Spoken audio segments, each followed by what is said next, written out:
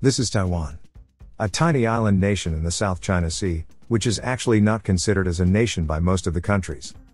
Still, Taiwan is one of the Asian tiger economies, and one of the richest countries in Asia, with GDP per capita of more than $25,000. The interesting thing here is, Taiwan has been achieving this growth by embracing technology. Today, the country is a leading manufacturer of chips, electronic components, and specifically semiconductors. Well, I am sure that you all have heard about semiconductors.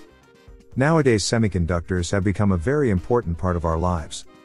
From consumer electronics such as mobile phones and computers, to the ATMs, automobiles, and medical equipment, semiconductors are used everywhere. In fact, the device you are watching this video on probably has a made in Taiwan chip in it. These chips are new industrial trends and will define the future technologies. That's why many people are saying, the semiconductor is oil of the 21st century. And Taiwan is the unmatched leader of this industry, with the Taiwan Semiconductor Manufacturing Company alone accounting for more than 50% of the global market. This industry is responsible for 15% of Taiwan's GDP. In 2020, Taiwan semiconductor production increased to more than 20%, which is nearly $107 billion. This has made the world dependent on Taiwan more than any other nation. You might be knowing how the recent shortage of these chips disrupted manufacturing of many products, and resulted in price hikes of cars, mobile phones, and other products. It really showed us how much the world is dependent on this tiny island. You see, Taiwan was not used to being rich as it is today. It has struggled a lot historically. Taiwan was formed after the Civil War in China, between the Communists and Kuomintang. Communists won that battle and the Kuomintang formed their government on the island of Taiwan, with the official name, Republic of China. In the beginning, Taiwan was mostly dependent on agriculture, and it was under martial law and no real economic growth happened in the early period. It all started to change in the early 60s. After the reforms of the agriculture sector, Taiwan was slowly moving towards industrialization. Taiwan's initial industrialization was started by the growth of textile factories and companies that produced light manufactures, such as small appliances, footwear, and athletic equipment.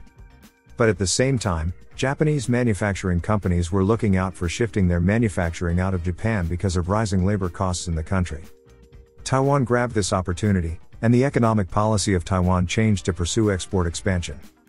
Companies subsequently moved to manufacture semiconductors and electronic equipment, including radios, television sets, and computers. By the mid 1980s, Taiwan had become one of the largest producers of computers and computer peripherals. It also succeeded in establishing steel and shipbuilding industries, but those were of less significance than the enterprises manufacturing information and communication technology products. Taiwan got a head start of more than one decade before China opened its economy, and became the favorite destination for global manufacturing. But Taiwan didn't just stop at labor intensive industries, they also build their own multi billion dollar companies like TSMC, MediaTek, Asus, Acer, Wistron, and many more. The reason behind Taiwan's growth is not only because the nation was in the right place at the right time, and filled the gap of the slowing Japanese manufacturing. But it was mainly the people of the nation.